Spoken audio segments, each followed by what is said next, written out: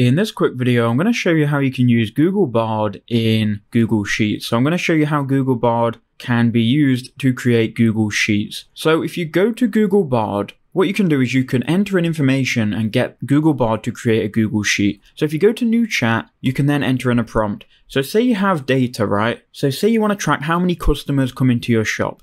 You might then want to write a prompt which says create Google Sheets for the following. How many people entered my shop? Then you might want to say 1st of October, one person. 2nd of October, 23 people.